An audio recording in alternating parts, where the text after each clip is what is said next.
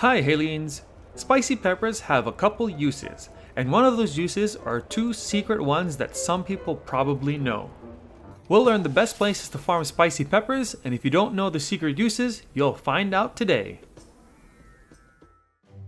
I'm Nico, and this is my fun, quick, and easy series explaining where to find the fruit in Breath of the Wild.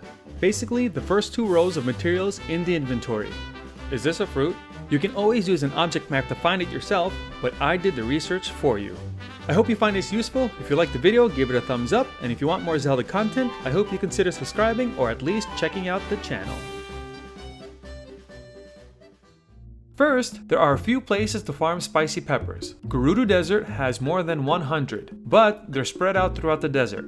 There's about 30 at the Lanayru Road East Gate. Even though there's only 30, I mentioned this location because it's where you can farm a Lynel, a Hinox, and close by there are some chill shrooms.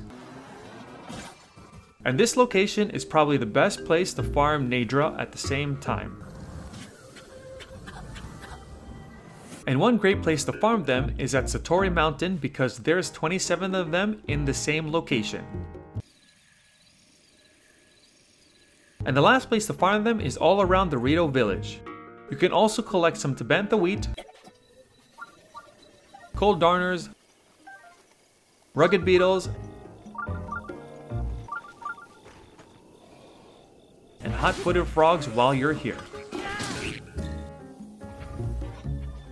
The main use for spicy peppers is for cold resistance. Each one will give you 2.5 minutes worth. But you cannot get level 2 cold resistance with only spicy peppers. Check out Croton's cooking video for more information. The second use is to burn them. If you burn them, they will create an updraft. The last random use is to feed them to sand seals. If they see it, they'll eat it, and you can approach them while they're eating. Not very useful, but still very interesting. That's what I got for spicy peppers. Volt fruit are next. I hope you found this useful, interesting, or entertaining. Give it a thumbs up, and if you want more Zelda content, consider subscribing or at least checking out the channel. See you next time!